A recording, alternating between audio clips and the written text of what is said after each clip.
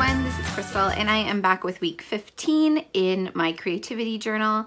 Uh, you can see I already have my photos ready to go. There are not a lot of photos this week, um, but that's okay. I will make it work. For supplies, I have, let me just grab this just bunch of stuff.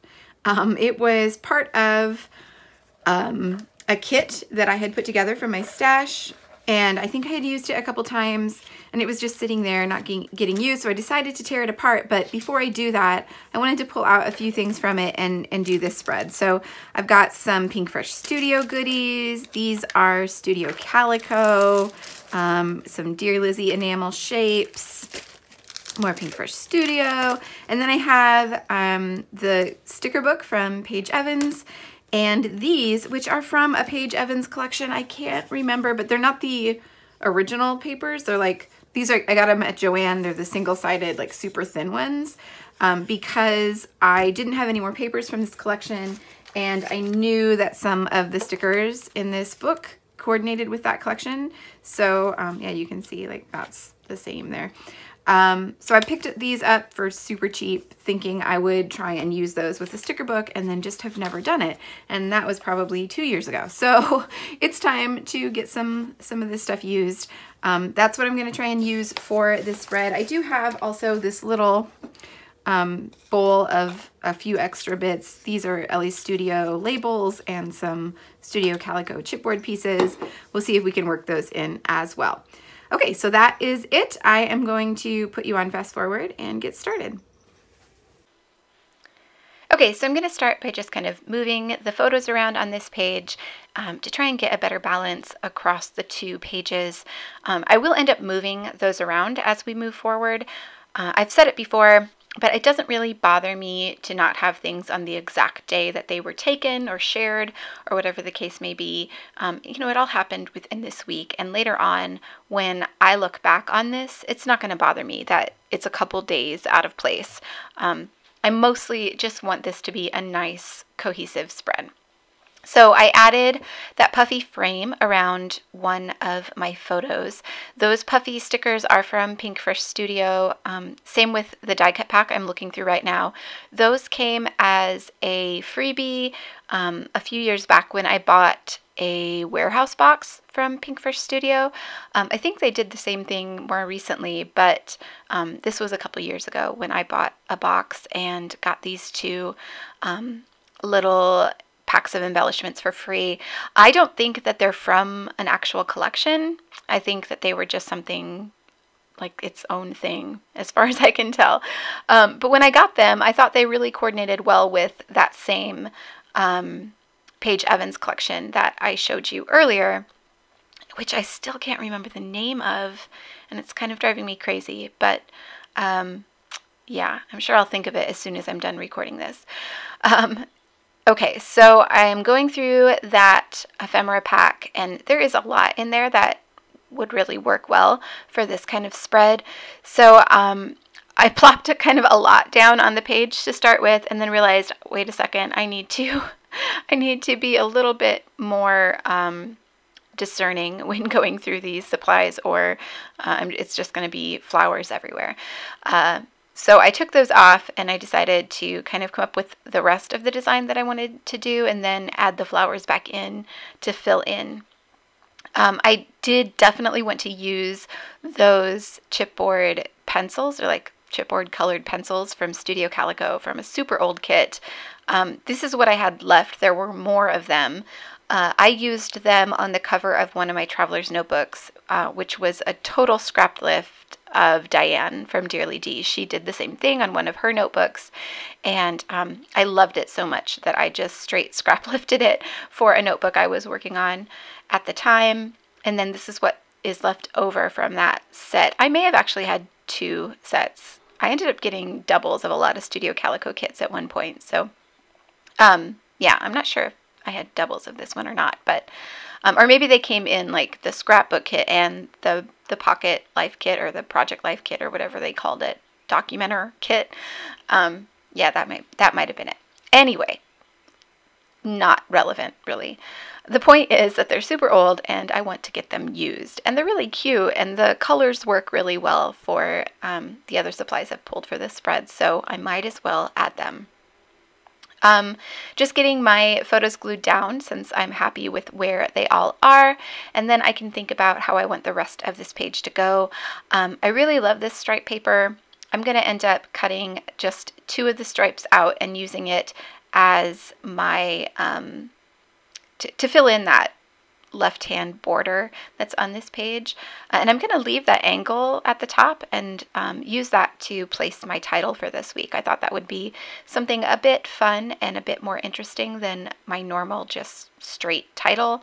I did have to lift up the corner of that pencil to get it stuck down in place. I clearly wasn't thinking ahead when I stuck that down, but um, it's okay. It tore a little bit, but you won't ever see it, obviously, because it's underneath that paper. Okay, so um, I like the way that that looks. I'm going to go ahead and add my title with these Pinkfresh um, alphas. And um, I'm just going to obviously mix up the colors. This is a multicolored alpha. And even within the colors, they're not exactly the same. It's, it's really weird. Um, I, had a, I really liked it. I think I bought two of them, maybe. Um, but I've had a hard time using it because I just don't really do multicolored alphas very well. And um, normally I like pick out all of one color, but the colors are all varied in this pack. So um, I thought this would be a good place to get some of those used, even if only just a few of them. And um, because all of them really match the colors of this spread. So I have added a label, one of those LE Studio labels, to the bottom of the page to add some journaling. I'm going back to these puffy stickers. I'd like to use up as many of these as possible. Like I said, I've had all of this in my stash for years, so it's definitely definitely time to get it used or to let go of it. Um, so depending on how much of this actually gets used on this spread, I will decide what to do with whatever is left. Okay, so now I have um, all the major pieces of this spread on the page. I can go back and fill in with some of these flowers and figure out how I want those to sit on the page. Um, I know that there are also some florals in that sticker book that I will add uh, to kind of fill in around these, so I'm keeping that in mind as well.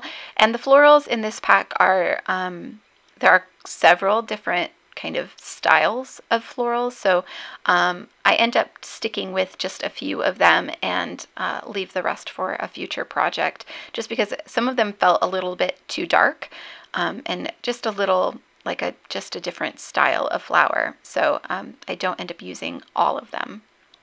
Okay, so I'm going to stick down some of these flowers since I'm happy with where they are and um, then here in just a second, I will go away and add my journaling off camera. I just handwrite my journaling this week. Um, I did consider typing it, but I already had all of this stuff on the page and it doesn't go through the typewriter very well um, with all this stuff on it. So especially that chipboard, I would have had to pull all of that off. And I didn't feel like um, cutting up strips of journaling. So I'm just going to handwrite it. Um, I want to do that before I do all of the finishing touches just to make sure that I leave enough room for everything that I want to say. So just gluing down all the little bits that I have on the page so far and then I will write my journaling and come back and there it is magically all done and now I can just start filling in all of the empty spaces. So um, it does seem to be the case usually that the first half of these weeks, so the left hand side of these spreads, are much busier than the right hand side. Um, and I think that's because my standard posts happen on Tuesday and Wednesday, and then um, I sometimes just don't have enough time to add another post or video um, throughout the rest of the week. So, um, yeah, when that happens, then the other half of the week is pretty light, and I end up having to fill it in quite a bit more with embellishments, which is okay to me. And I, I do sometimes, like I said, spread things out a little bit. It doesn't bother me to have them on different days. But, um, you know, if I can, I'd like to keep them on the correct day, quote unquote, correct day. So, um, yeah, it means that sometimes the second half of these spreads are a bit lighter in photos. Um, so that is something I have to work with when it comes to embellishing, and um, something maybe I'll keep in mind in the future um, about spreading my posts out a bit more throughout the week. But like I said, things happen, life happens, and I get busy and it just doesn't work out. Okay, so I'm just going through the sticker book and filling in all the empty spaces with all these beautiful florals and um, there's a bunch of hearts in this pack as well. And I'm just kind of adding all the things everywhere. I do add some of the little circles, uh, the little circle stickers. I created a cluster above my title uh, with some more flowers. And um, I'm, as always, thinking about distribution of color and um, weight as well as I add all these things to the page. And then um, once I'm happy with the amount of stuff I have on the page, I will come back with those puffy kind of asterisk stickers from an old Studio Calico kit. Um, again, they are in the perfect colors to coordinate with um, the other items I've pulled for this week's spread. I did add a little sticker above the title that says don't forget. I thought that would be kind of cute. And then I'm adding a few of this, these strips. They're like little washi strips. I added one scallop one at the bottom of the page and I'm going to add two more here at the top. I do like to create a cluster at the top of the right hand page uh, when possible. And then I think I'm just about done. So like I said, I will add a few of those asterisks. And then I do, of course, add some doodling because I just can't stop myself. So after I get those added, uh, then I will do some doodling off camera. But you will see all of that in the close-up photos coming up at the end. There are a ton of close-up close-up photos as usual, just so you can see all the, the little details and read the journaling if you so choose. Um, and I do mention uh, several of the photos on this week's spread are of the freebies that I offered a couple weeks ago. Actually, well, this week, week 15. Um, I offered them on my YouTube channel. So I will be sure to link those videos as well because they are still available and you can go get them if you haven't already. So I will link those down below so that you can find the links to those freebies. And I think that just about does it for this week. So thank you all so much for watching. I hope that you've been able to find some inspiration and I hope that you are documenting your stories as well. Uh, if you did enjoy this video, I do always appreciate a thumbs up. That lets me know that you like what I'm doing and that I should do more of it. Uh, and if you aren't already a subscriber, please do hit that subscribe button. We would love to have you here.